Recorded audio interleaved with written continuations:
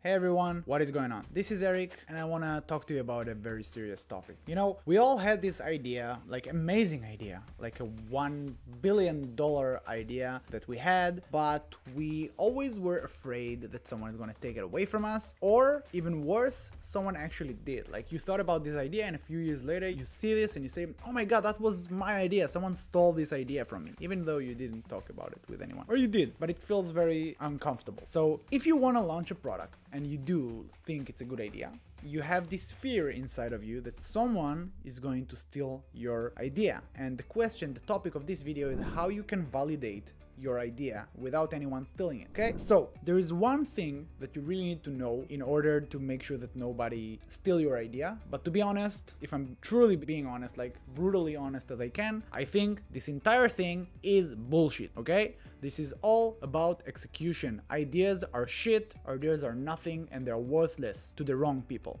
Okay, if you're the right person, then this idea is a gold mine for you. Okay, you've had these ideas before that you've seen someone else is taking, someone else executing. They're worth nothing to you and they're worth gold to the person who executed them. Uh, you can look at so many products where there are multiple products in the market. Someone did it right, someone did it wrong, someone didn't do it. So for the people who didn't do it, it's worth nothing. It's all about execution. Really, there are so many good ideas out there and I'll give you some ideas like I have an idea. Let's have an app that allow people to, I don't know, rent their parking spots in uh, major cities around the world. Something like, I don't know, like Uber just for your parking spot. Just do that. Like very simple, great idea, can make tons of money. It's worth nothing to me because I'm not doing anything about it. Someone is going to do it, it's just a matter of time. The person who's going to do it is gonna make shit tons of money. So if you wanna do it, do it.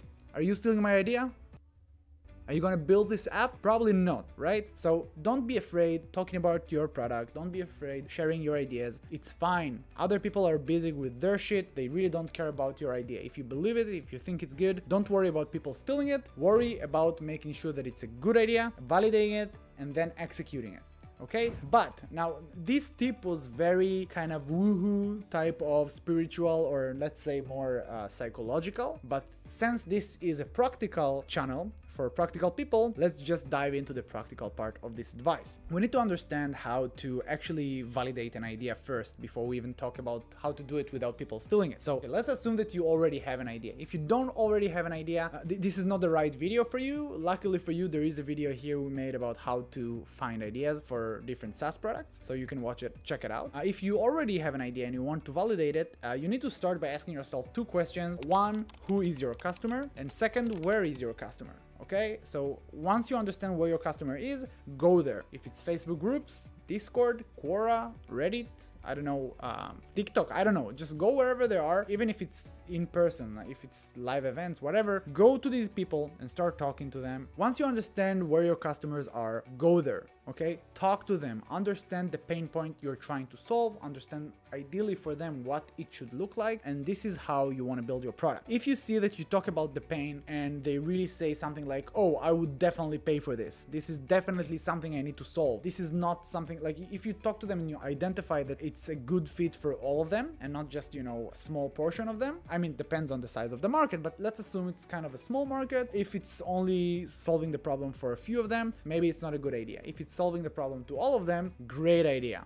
go for it. And then second is what's their willingness to pay. Like, is this a true problem they're willing to pay to solve? Or it's not such a big deal and they're willing to do it on their own, even if it's take them a little bit longer to do it or more effort. Now, what you want to do is really start a conversation and you can go, there are a few ways to go about it. Interviews are always a good thing. You can either, let's say it's a Facebook group, start conversation on Messenger with your potential customers, ask them some questions, some guiding questions for you to understand what it needs to look like. And again, this is all private so nobody's going to steal anything away from you. And you can search for specific topics or specific posts around the solution you're trying to solve and reach out to these specific customers, talk to them, potential customers, and kind of let them guide you through the process. Okay, so this is uh, one way to start a conversation. You can also run some bots that allows you. Again, we have another video about it. It's called. It's about how to generate free leads. Check it out in here. Again, some good tips there on how to create an automation around it, so you can reach out to multiple people in Facebook groups or, or other channels as well and talk to them, uh, start a conversation this way on bulk. And you can also have some sort of a survey if you want to send them to the survey and help them, I don't know, let them answer the questions in this way. You're to have a little bit more quantitative information, like take this survey and get, I don't know, $20 gift card on Amazon. That can also be very effective. Another way to automate the process would be to understand, again, where your customers are,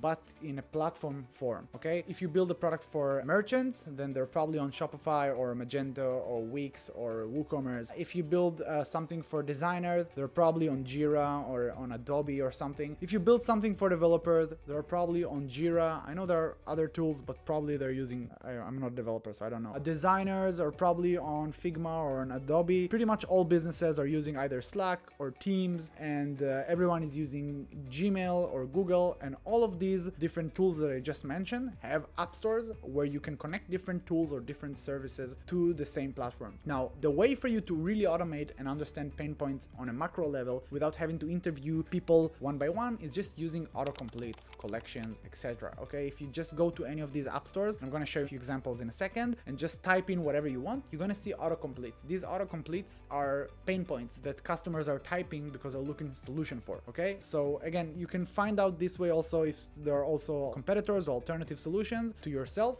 and learn from them or decide if it's a good fit to get in or it's too late. Let me show you some example. Okay, now again, as I mentioned, right now I'm on Shopify and I can type in anything I want just by clicking here. This is this is my search history, but just by clicking here, I can type in anything I want and I'm gonna see some sort of autocompletes. Now these autocompletes are probably here because they're being searched the most on the App Store, which means these are pains that customers, merchants in this case, are looking for. If I go to the Slack App Store,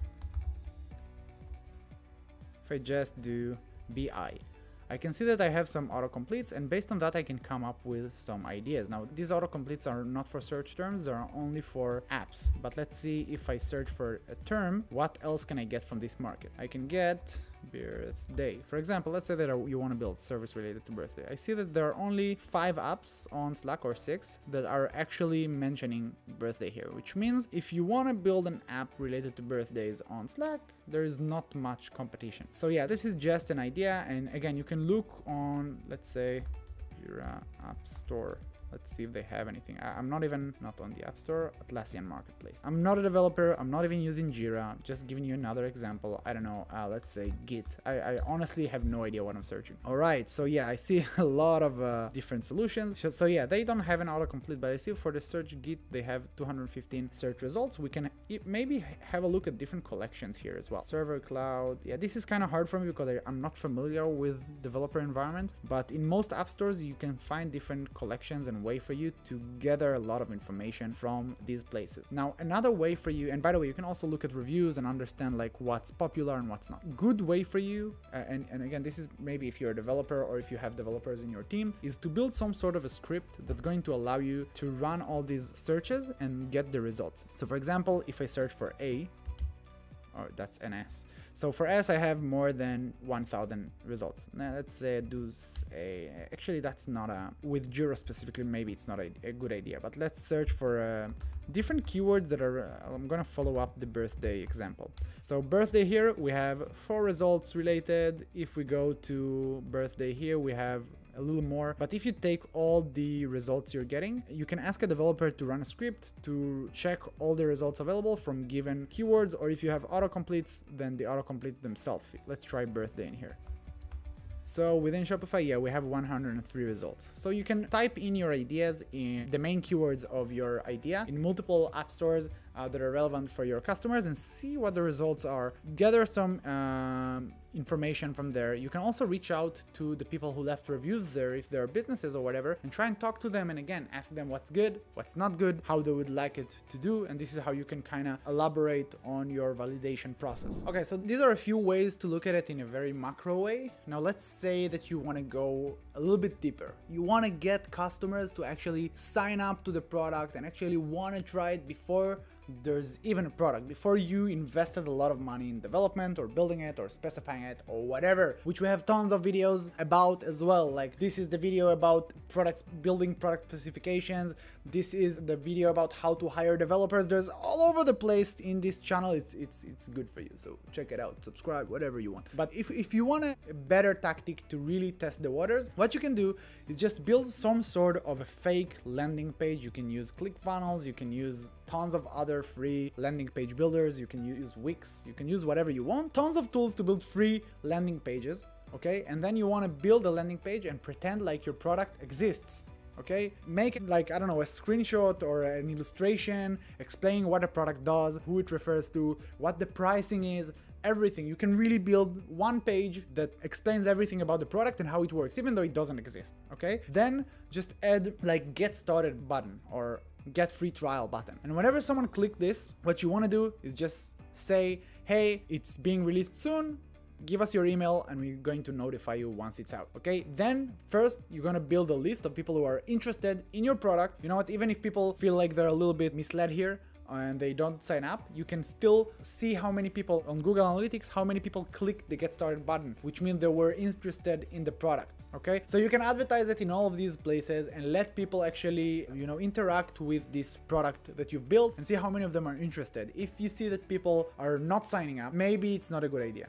Maybe you should check out what was wrong see it's a good fit or not or tweak it if needed. If you see that people are signing up you see that out of the amount of visitor you get you get good enough conversion rate, like a few percentages is okay, then it means that you are onto something and maybe it's a good idea to start building it. Okay. And also this way you're gonna build a list so that whenever it goes out, you're gonna have customers from day one. So this is how you validate it in, in a way that is very lean. Okay. It's very lean. You don't have to do anything. You're gonna see the results right away. Now, after we gave you all the tactics, there is one thing that I wanna get back to, and this is the core of this video. I think it's really the most important thing. The, the one thing you need to know in order to make sure that nobody steals your idea understand again that everything but execution is bullshit.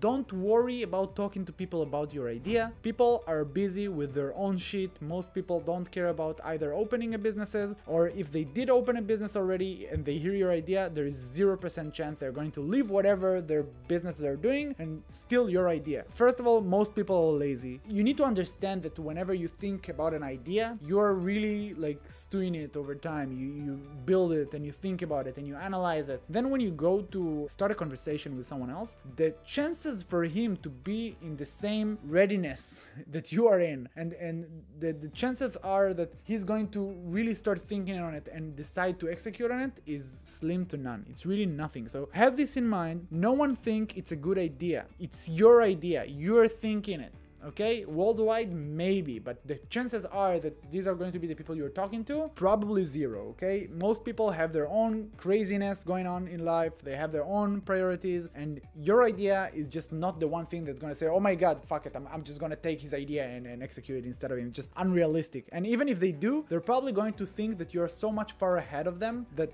it doesn't make sense. Or you know what even better maybe they're gonna want to partner up with you which is also a good idea. Maybe it's your customer that wants to partner up with you and so that you can execute better on the product. Just giving you some thoughts about it but again it's mental. It's not really something that you need to be worried about. Worry about doing the things you need to do. And um, yeah the last thing i think you need to understand that before you make money really nobody gives a shit about your idea okay? Once your product starts generating revenue, suddenly you're going to see tons of copycats. Like we have a few products we built. After it went live, suddenly there are tons of people building the exact same product because it didn't exist before. But before that, nobody thought it's like, I, I, I'll give you an example. ReConvert, our number one product. We've been like, when I was building Shopify store with my previous partner, we were talking about like, yeah, we need to build the thank you page upsell. We were talking about it for ages, but we never actually did it. We never actually decided, you know what, let's do this. Let's put, uh, let, us take a few months and do nothing but this and put all of our efforts and money and, and everything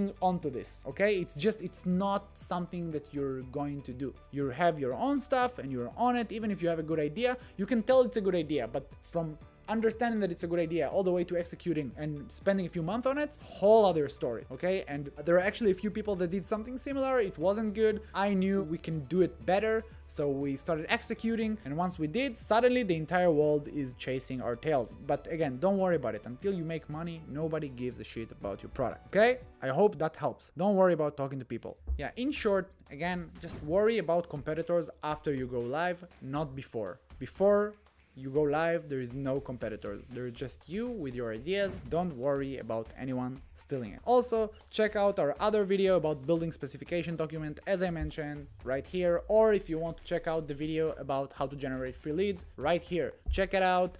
I'll see you in the next video. Bye.